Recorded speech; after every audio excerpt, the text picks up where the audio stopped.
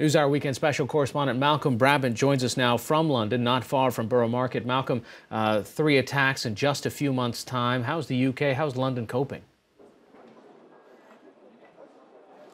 Well, if you talk to some Londoners, they'll paint a, a picture of this city being a totally indomitable place, a place that has lived through the Blitz with German bombs raining, raining down, with the IRA bombing this place uh, during the 1970s and 1980s, and they say that uh, London can cope.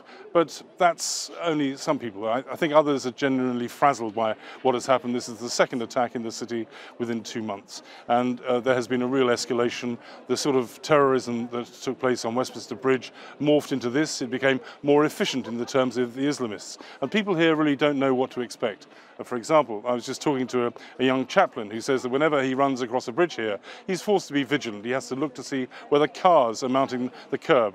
And he also has two children, and he and his wife have got a plan that if something happens, they will each grab a child. And this is the way that people are having to think these days because this sort of attack seems to be becoming the new normal.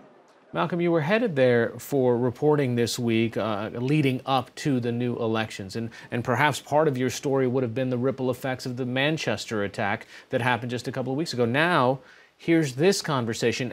Does this have an impact on voters when they go to the polls?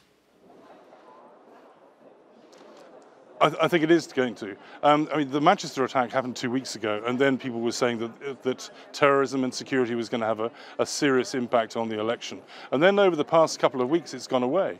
Um, and what's really interesting about this is, is the way in which this has been playing out for the incumbent Prime Minister Theresa May. When she called this election, she really had a substantial lead, and over the course of the past two weeks, that lead has been dramatically eroded. And her rival, Jeremy Corbyn, who's widely regarded as being a, a, a bit of a, a left-wing candidate, candidate, has done extremely well in the polls. And um, so much so that he came within you know, a hair's breadth of her in the latest opinion polls. Now, this incident happened on Saturday night, and that really has changed the dynamic of, um, uh, of this election. And it has to be said, it may be to Mrs. May's advantage, uh, because she was once the, Home Secretary, um, and playing to security is her strength. And so she was able to present herself as the Prime Minister who was able to sort of talk in fairly robust terms today outside Downing Street.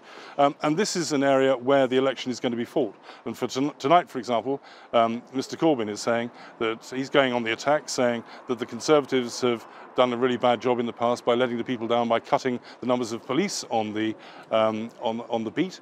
And so this is an area which is really going to play into people's minds when they go into those voting booths on Thursday.